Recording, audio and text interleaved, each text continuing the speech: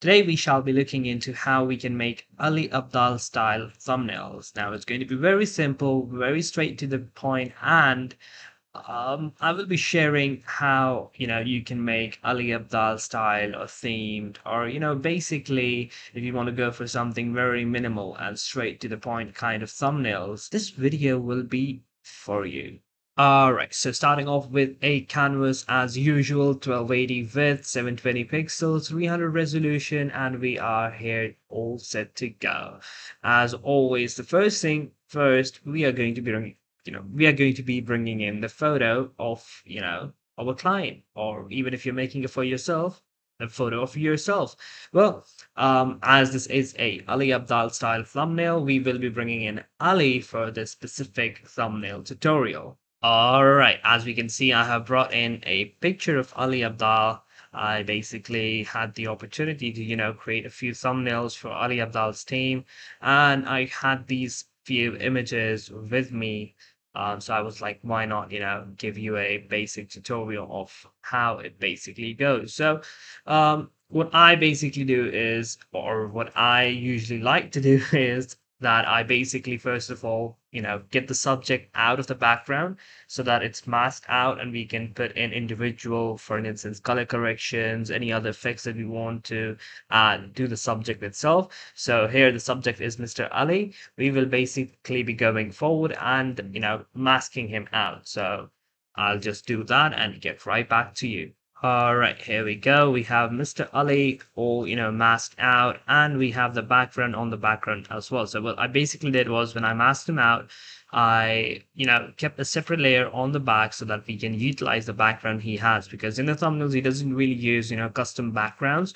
Um, he basically uses his own office as the background. Now, this is a very simple thumbnail and you don't really need a lot of expertise in it. All you really need to have is Photoshop itself. Um, I have masked I have masked him out so that we can you know put in color corrections to him separately, and then we have the background so that we can color correct it accordingly as well.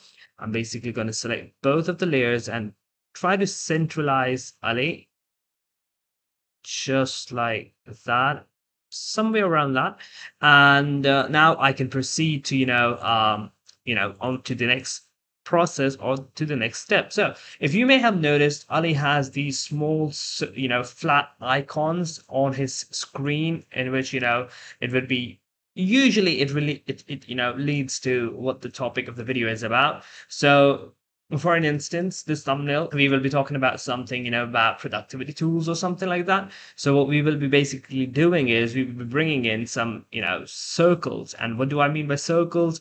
Basically, all you have to really do is you go into the shape tool, ellipse tool, fill it with white color. If you want to choose any other color, it's completely up to you, but white is preferred in my opinion and then create small little circles like these. And um, you know you can create these and replicate these all over the place you know depending on how many icons you want on the screen. So for an instance let's say we want to add six of these so i'll just duplicate them and then adjust them accordingly. And there we go. We have our layers adjusted just like that. So basically what I did was I just duplicated all of the ellipses and, you know, resize a few of them, you know, the small ones and slightly bigger ones and disperse them over the screen. So I evenly divided them three on one side and three on the other side. And that was pretty much it. Now, the next step would be you going on to google.com images, or as I prefer to go to flat icons. Um, there you can find some really cool icons for your thumbnails.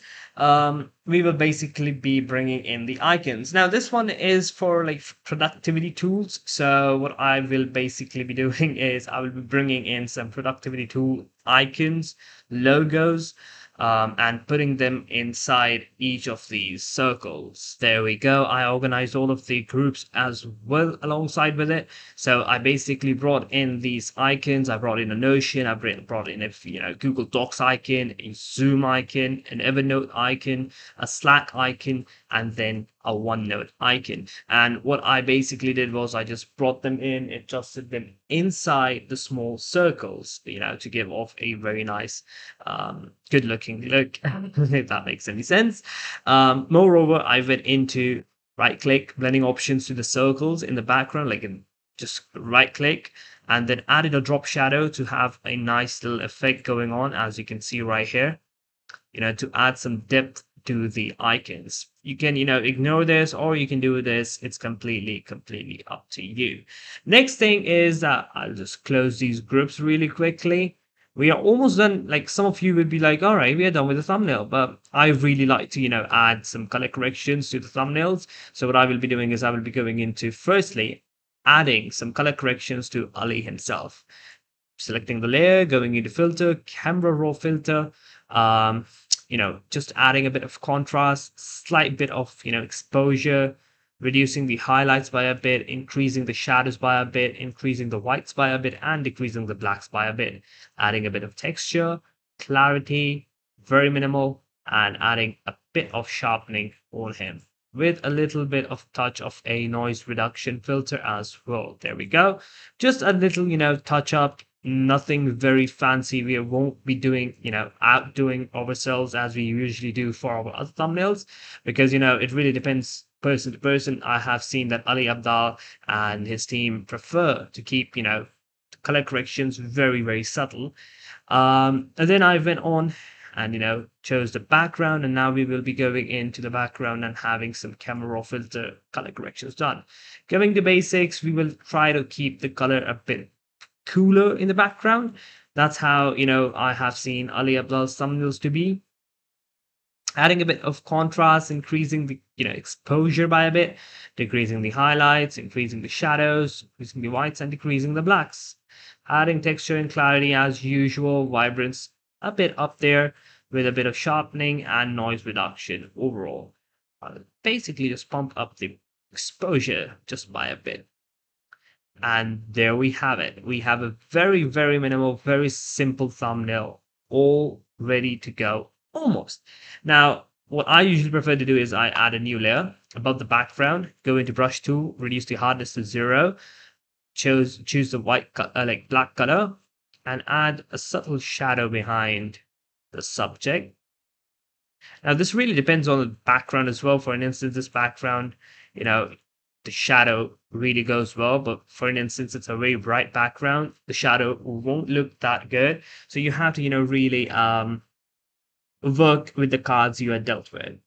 Then similarly, what we will be doing is we will be going into selective color, whites, decrease the blacks to zero, and just quickly whitening up, or as you would say, brightening up his eyes and teeth. A new color, a new layer, just like that to make his teeth white. Now, this is something that I personally am doing. Um, I do not think that Ali's team or he does this, but this is something that I have felt, you know, really plays. So you would like, oh, come on, show it's just like thief. How does that make any difference? Surprisingly it does really make a difference you know you when you see a person smiling with a bright white you know smile um you tend to really notice it. That's just human psychology and uh, it does wonders and i myself got to learn about this while doing thumbnails. Um but yeah that would be it. Now you can just select all of the layers group them duplicate them you know merge them uh, you know, select everything, cut, paste. You know, we have a separate layer. If we want to add in some additional overall color corrections, filter, camera raw filter, we can add in some contrast if we want. We can increase the exposure by a bit if we'd like. We can reduce the highlights. We can increase the shadows. We can increase the white, just like we usually do. Um, if we want, we can increase the vibrance or you know even decrease it if we want.